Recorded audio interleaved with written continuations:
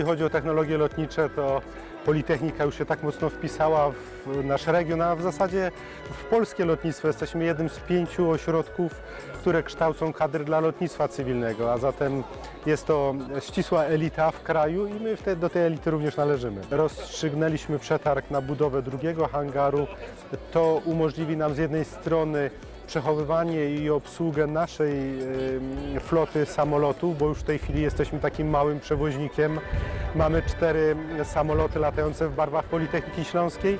W tej chwili jesteśmy w trybie zakupu samolotu dwusilnikowego, który nam jest niezbędny do kształcenia pilotów samolotów cywilnych. A zatem rozwijamy się, rozwijamy się również dzięki bardzo dobrej współpracy z miastem Gliwice. Zaczynamy nazywać i słusznie gliwickie lotnisko gospodarczym sercem Gliwic. Trudno nie oprzeć się wrażeniu, że dzisiejszy rozwój nowych technologii e, z pewnością będzie następował w branży lotniczej i w tych wszystkich branżach towarzyszących. Mamy doskonałe warunki, wszyscy nam tych warunków zazdroszczą. Betonowy pas startowy, nowoczesne hangary, nowoczesna infrastruktura do obsługi samolotów, również do kształcenia mechaników lotniczych.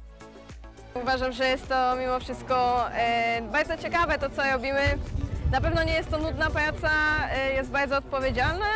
Uważam, że nadają się do tego wszyscy, zarówno mężczyźni, jak i kobiety. Mamy dużo przedmiotów lotniczych, e, uczymy się praktycznie o budowie całych statków powietrznych, e, nie tylko samolotów, ale także śmigłowców, o silnikach turbinowych, tłokowych, także program naprawdę jest bardzo szeroki.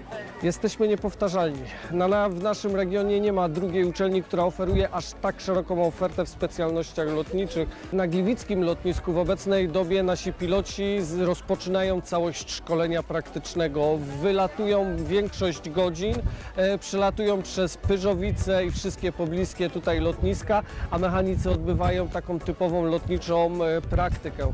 Nie należy zapominać, że u nas na lotnisku mamy także dwa y, ośrodki AMO i KAMO, które pozwalają Politechnice tak jakby w samodzielny sposób zarządzanie całym sprzętem lotniczym, co także jest ewenementem w skali naszego regionu. Wybór kierunku tutaj jest akurat dosyć oczywisty. W moim przypadku akurat jestem wielkim fanatykiem lotnictwa. Trzeba pamiętać, że lotnictwo jest dosyć e, drogą przyjemnością. E, No i uczelnie e, państwowe dają tą możliwość e, studiowania i spełniania swoich marzeń e, za darmo właściwie. No, tutaj jest kwestią tylko to, żeby się dostać na kierunek, e, potem się utrzymać, mieć dobre oceny, e, no i tylko latać właściwie.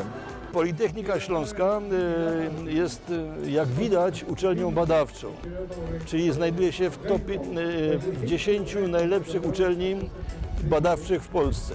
Mamy wielkie y, specjalizacje, jest, rozwijamy się w kierunku osobowości lotniczej, ale również y, rozwija się cała nauka lotnicza, y, ponieważ Politechnika jest y, nawet, zaangażowana w systemy sate- satelitarne, w kosmonautykę, w różne materiałoznawstwo, w kwestie silnikowe.